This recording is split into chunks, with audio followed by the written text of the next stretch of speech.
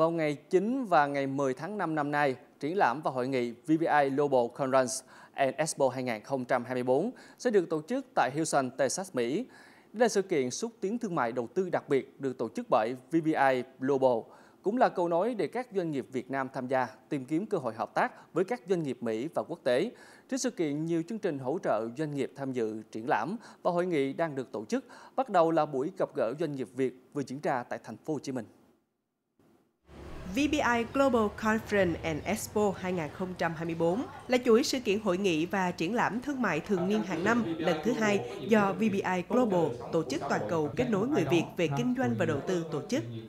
Chuỗi sự kiện xúc tiến thương mại năm nay được hỗ trợ xuyên suốt từ Phòng Thương mại và Ngoại giao trực thuộc Văn phòng Thị trưởng thành phố Houston như một lời khẳng định về sự quan tâm, sẵn sàng hỗ trợ giao thương và hợp tác kinh tế giữa các doanh nghiệp Việt Nam và Mỹ.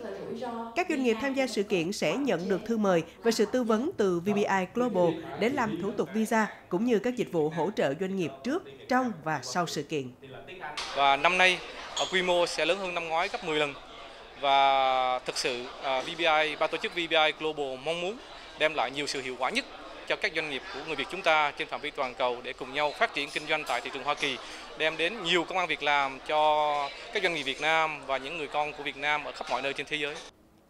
Sự kiện năm nay dự kiến thu hút hơn 300 doanh nghiệp và hơn 5.000 doanh nhân Việt, Mỹ, người tiêu dùng đến tham dự, trải nghiệm thực tế sản phẩm và dịch vụ. Song hành cùng các buổi hội thảo và chương trình giao lưu, kết nối doanh nghiệp một một trước, trong và sau sự kiện, giúp doanh nghiệp mở rộng mạng lưới kết nối và tìm kiếm cơ hội hợp tác.